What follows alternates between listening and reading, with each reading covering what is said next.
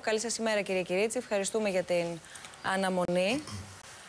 Θέλω να ξεκινήσουμε με την εικόνα που έχετε αυτή την ώρα για τον Πειραιά. Διότι συνδεθήκαμε πριν από λίγο και από το ρεπορτάζ και τα όσα μας μεταφέρθηκαν έχουν φτάσει εκεί ήδη δύο λεωφορεία προκειμένου να μεταφέρουν πρόσφυγες και μετανάστες στην Κιλίνη σε κέντρο φιλοξενίας το οποίο έχει ετοιμαστεί εκεί Ωστόσο, από έναν διερμηνέα με τον οποίο συνομιλήσαμε, υπάρχει μεγάλο ενδιαφέρον από τον κόσμο να μεταφερθεί εκεί, ενώ χθες γνωρίζαμε ότι δεν θέλουν να μεταφερθούν προς την Νότια Ελλάδα γενικότερα, διότι απομακρύνονται από τα ελληνοσκοπιανά σύνορα ε, και έχουμε χαθεί λίγο με το τι γίνεται, αν θα πάνε κι άλλα λεωφορεία, αν όντως υπάρχει ενδιαφέρον, πόσοι έχετε υπολογίσει να μεταφερθούν και πόσοι χωράνε επίσης.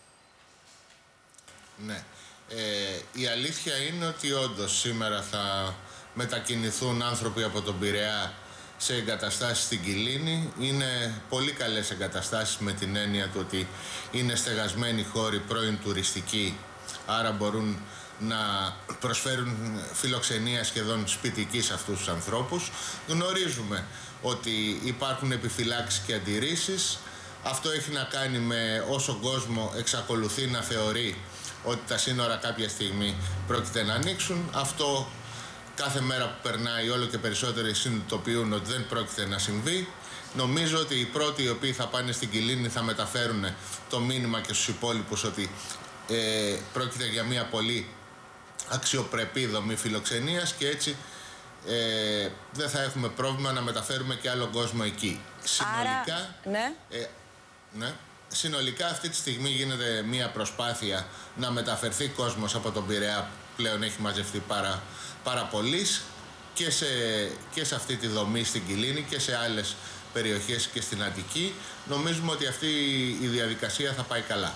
Άρα, μισό λεπτό κύριε Κυρίτσι, εσείς ε, θα στείλετε και άλλα λεωφορεία ή αυτά τα δύο είναι τα λεωφορεία που σήμερα θα μεταφέρουν όσους ενδιαφέρονται. Αν και επαναλαμβάνω, αυτό που μας μεταφέρθηκε είναι ότι ενδιαφέρονται πολύ περισσότεροι από όσους χωράνε δύο λεωφορεία.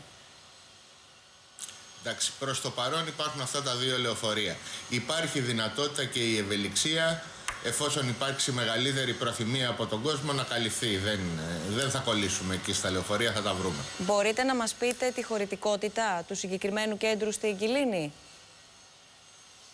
Ε, δεν είμαι σε θέληση να σας πω ακριβώς, διότι προς το παρόν έχει, έχει δοθεί σε εμάς ένα, ένα κομμάτι αυτού του χώρου.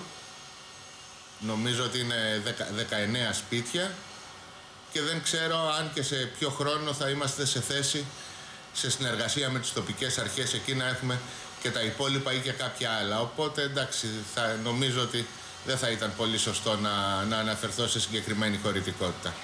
Θα πάμε σε μία σύντομη διακοπή για διαφημίσεις. Θα ζητήσω